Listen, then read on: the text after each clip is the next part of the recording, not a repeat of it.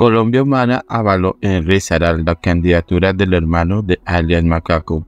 Se trata de Roberto Jiménez Naranjo, hermano del ex jefe paramilitar y candidato a la alcaldía de Dos Quebradas, quien a través de una carta recibió respaldo de dirigentes de Colombia Humana en el municipio. El documento aparece firmado por Francisco Javier Castaño Botero y es remitido a la dirigencia departamental del partido, así que avaló inicialmente al candidato en cuestión. En la carta, Castaño Botero le informa al presidente de esa colectividad que él y los integrantes de la Colombia Humana respaldarán a Roberto Jiménez Naranjo en su aspiración a la alcaldía del municipio de Dos Quebradas.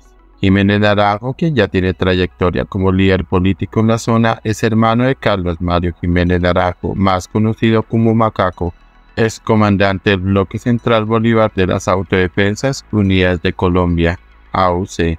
Durante su trayectoria política, Roberto Jiménez ha insistido en que no tiene ninguna relación con los delitos de su hermano, que es él quien debe responder ante la justicia y sus víctimas y que por lo tanto no se puede condenar su actividad política por dicha relación familiar.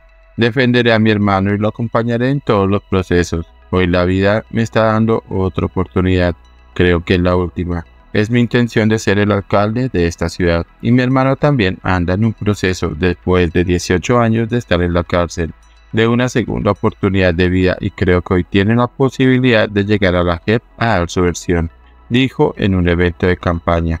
Llegó al Consejo de Dos Quebradas en el año 2000 avalado por el Partido Liberal y repitió en el siguiente periodo con la votación más alta del municipio.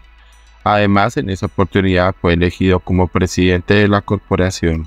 Ahora intenta llegar a la alcaldía con el mensaje con carácter para transformar. Lo que más llama la atención del respaldo que le entregó Colombia Humana es que en 2018 el entonces senador y candidato Gustavo Petro criticó a su contendor Iván Duque por contar con el apoyo de Jiménez Naranjo.